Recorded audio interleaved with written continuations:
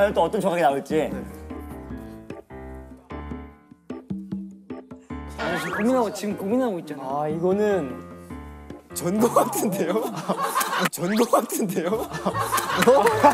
아 본인이 예상하는 멤버 가만히 있지 못하는 제일 잘 떠는 멤버? 왜 나 이미지가 그래? 가만히 있지 그래 못하는 너가 맨날 이런 거 잘 하잖아. 거니까. 자 그럼 이제 본인을 제외하고 누구 많아?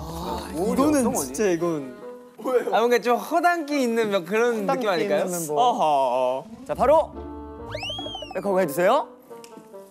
자! 아, 우영 씨가. 우영 씨를 뽑았습니다. 예. 알겠다. 자, 일단 우영 씨가. 산이 씨가 앉아주시고요. 자, 개성이 정말 강하고 이제 멋있어 보일 수도 있고.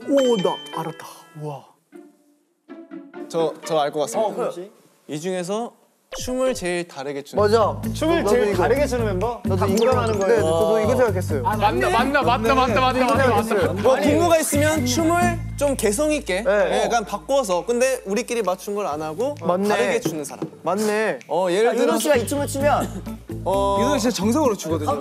인셉션 보여주세요. 인셉션이야 그러면은 일단 산이를 해보자면 처음에 떨어지면서 천천히 가야 되거든요. 예? 착착. 여기서 산이는 어, 리듬이 어, 리듬이 좀 다르네. 어, 약간 밀당이 있네 리듬, 리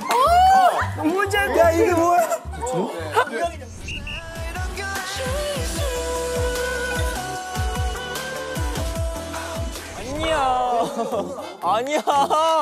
우영이는 오를 할때 그 뭐라고? 나 일단 시선 처리랑 네. 손 동작을 좀 달리해요. 원래는 어떻게 한대요? 원래는 아 그렇죠? 이게 정석이에요? 네. 네, 이렇게 근데 나를 감싸줘 얼어라 고개를 많이 꺾네.